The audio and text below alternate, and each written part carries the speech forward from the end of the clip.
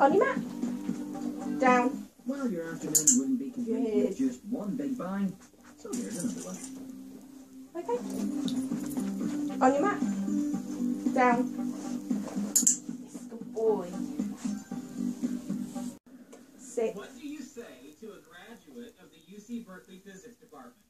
I'll have fries with that. Sit. Because his education hasn't prepared him for a career